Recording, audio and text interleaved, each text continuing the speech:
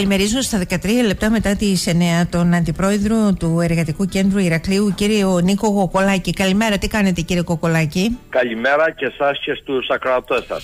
Εδώ να πούμε δύο πράγματα παραπάνω και γι' αυτό σας κάλεσα, διότι γνωρίζουμε για αυτή την κοινή υπουργική απόφαση μετά από την πρόταση του Εργατικού Κέντρου Ηρακλείου περί των εργατών Αγής, ε, έτσι ώστε να μπορούν να ενισχυθούν οι παραγωγοί, να καλυφθούν με εργατικά χέρια από άλλες περιοχές της Ελλάδας και βέβαια πάντα με την επιδότηση αν θέλετε της στέγασης και την επιδότηση του μεταφορικού μέσου για τους μήνες όπου, ε, όποτε αυτό χρειάζεται, όπου χρειάζεται. Και η απόφαση λέει ότι για την Περιφερειακή Ενότητα Ηρακλείου από συγκεκριμένες περιφερειακές ενότητες της Μακεδονίας πως μπορούν να έρθουν εδώ εργάτες γης αρκεί βέβαια να υπάρχει πρώτα και το κάλεσμα αν θέλετε από τους ίδιους τους παραγωγούς. Έτσι λοιπόν καλείται τώρα και τους παραγωγούς να επικοινωνήσουν με το Εργατικό Κέντρο Ηρακλείου. Τα υπόλοιπα τα αφήνω σε εσάς. Ναι, πραγματικά ήταν μετά από επίμενες προσπάθειες του Εργατικού Κέντρου Ηρακλείου επιτέλους υπογράφηκε αυτή η κοινή υπουργική απόφαση από τον Υπουργό Οικονομία και Οικονομικών και Κοινωνικής ε, Ασφάλισης. Είναι, είναι ένα πιλωτικό πρόγραμμα και είναι μόνο για το νομό Ηρακλείου.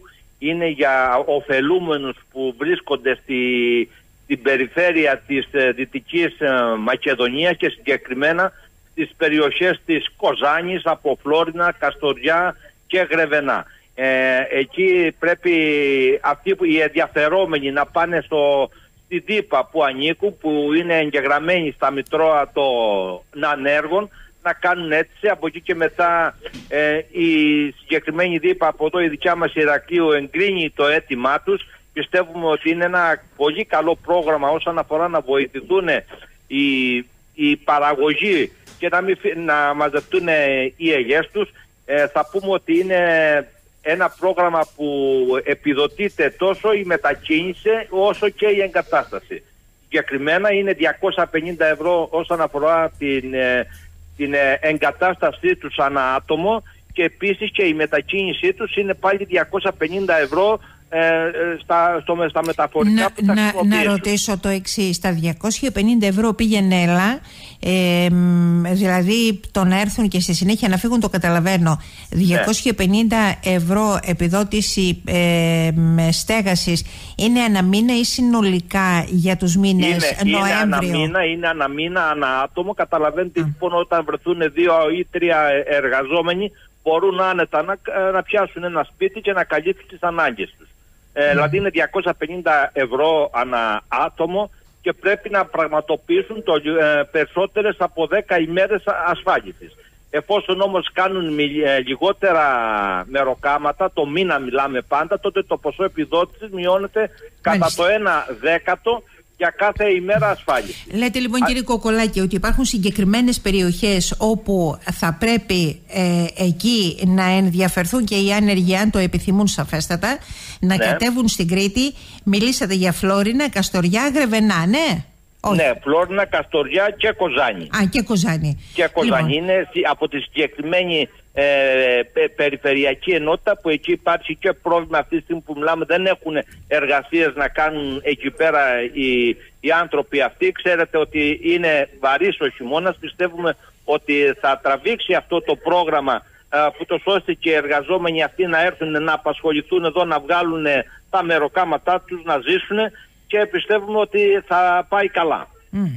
Λοιπόν, ε, το κάλεσμα προς τους παραγωγούς λέει τι τώρα από το εργατικό κέντρο Ηρακλείου.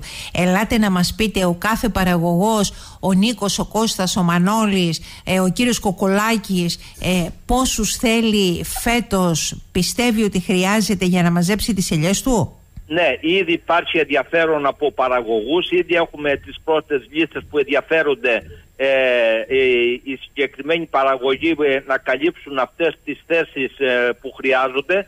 Και αυτό γίνεται καθημερινά. Είμαστε σε επικοινωνία με τα, με τα εργατικά κέντρα της ε, Δυτικής Μακεδονίας που το ώστε να το οργανώσουμε καλύτερα ε, για αυτούς τους ανθρώπους που ενδιαφέρονται να κατέβουν το Πάσα. Κύριε Κοκολάκη, όμως, μισό λεπτό. αυτό υπάρχει και ναι. μία λίστα ε, ήδη που είναι ε, στο εργατικό κέντρο όσοι ε, θέλουν να απασχοληθούν στην ε, ελοκομική περίοδο μπορεί να έρθουν και από εδώ τόποι να γραφτούν ούτως ώστε να συντράβουμε όλοι μαζί να, ε, να μαζευτεί η παραγωγή φέτος που βέβαια είναι να πούμε ότι είναι και μειωμένη από την προηγούμενη χρονιά. Ναι. Η αλήθεια είναι πάντως ότι αυτό το τελευταίο το πρόγραμμα δηλαδή ε, το να καταρτίζετε κι εσείς μία λίστα σε ό,τι έχει να κάνει με εργατικά ε, χέρια από ντόπιους εργαζόμενους αυτό τρέχει τα τελευταία χρόνια ε, για εκείνους οι οποίοι ενδιαφέρονται να εργαστούν στο λιωμάζωμα και βέβαια από την άλλη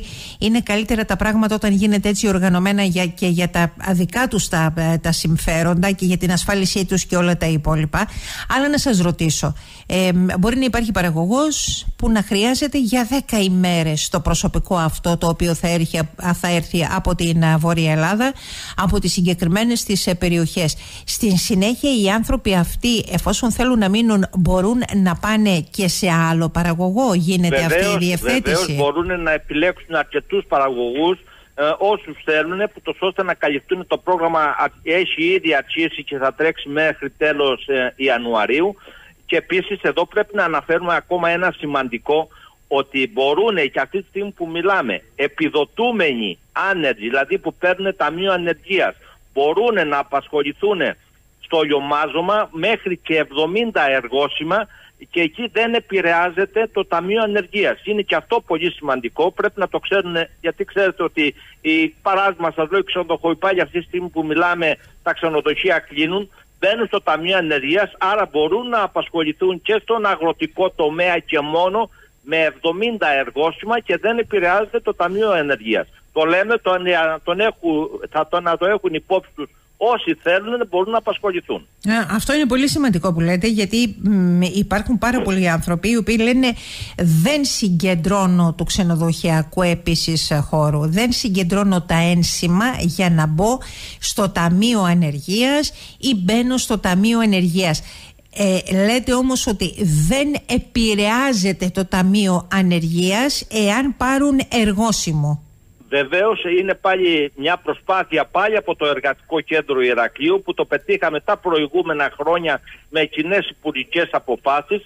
Το, ε, το γνωρίζουν, ε, πιστεύουμε και το λέμε συνεχώς. Εμείς έχουμε επισημάνει και στη ΔΥΠΑ όταν ο, ο, κάθε άνεργος, ο κάθε επιδοτούμενος καταθέτει τα χαρτιά του για επιδότηση ανεργίας, να στέλνεται και ένα μήνυμα ακριβώς να τους ενημερώνουν ότι πραγματικά μπορούν να απασχοληθούν, το τονίζω, μόνο στον αγροτικό τομέα μέχρι και 70 εργόσημα χωρίς να επηρεάζεται ούτε η κάρτα ανεργίας αλλά και ούτε να επηρεαστεί το επίδομα ανεργίας. Ε, νομίζω ότι αυτό είναι και μια σημαντική ανάσα για πάρα πολλά νοικοκυριά από τη στιγμή που μιλάμε μέχρι και 70 εργόσημα ότι δεν θα επηρεάσει το Ταμείο για να ενισχύσουν λίγο περισσότερο το εισόδημά τους και ειδικά οικογένειες οι οποίες έχουν παιδιά και ειδικά αυτές τις μέρες, ε, δηλαδή όσο πάμε και προς τις γιορτές, που τα έξοδα είναι με πολλαπλάσια και με την ακρίβεια η οποία υπάρχει.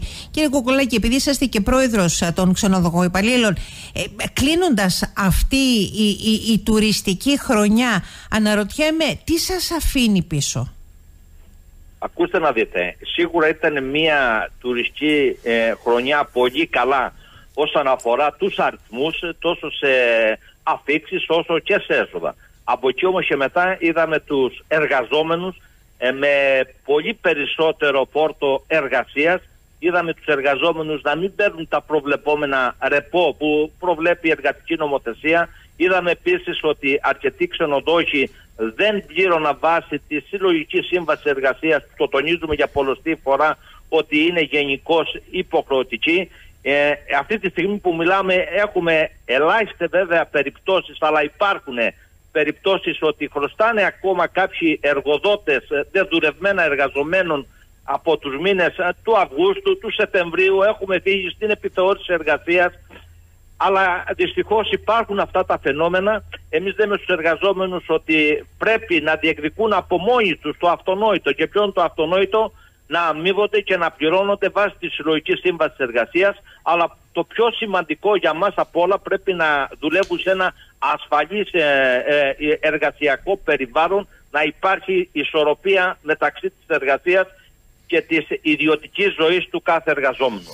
Για, για αυτά είναι πολύ σημαντικά αυτά τα πράγματα για εμάς. Σε τι ποσοστό ανήλθε φέτος η διαρροή μέσα από το δικό σας το χώρο προς άλλα επαγγέλματα; Εντάξει, η πανδημία βοήθησε πολύ περισσότερο τα όσα έγιναν τα προηγούμενα χρόνια.